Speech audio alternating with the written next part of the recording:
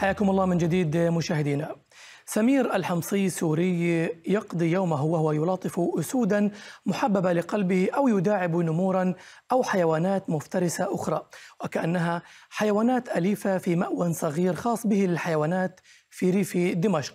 وتعود هواية الحمصي مربي ومروض الحيوانات المفترسة لنحو 25 عاما مضت عندما حصل على أول شبل له خلال رحلة مع, والد مع والده إلى ألمانيا. ويقول أنه كان معتادا على الذهاب مع والده إلى ألمانيا إذ كان يستورد السيارات ومن هناك اشترى أول حيوان مفترس.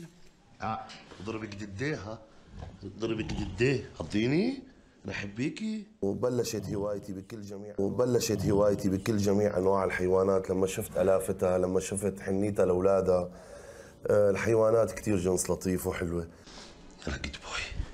هلا أنا مقدم على حديقة حيوانات العدوي. وإن شاء الله بدي أعمل أهم حديقة حيوانات بسوريا. وجيب آه، جميع أنواع الحيوانات ببلدي سوريا.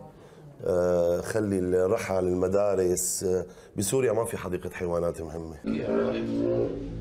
بيعرفوني إني بحب الحيوانات وعندي بنوته كمان آه، صارت متولعة هلا بالبيت مربية قطة ومربية كلب وبلشت لها هواية مثلي.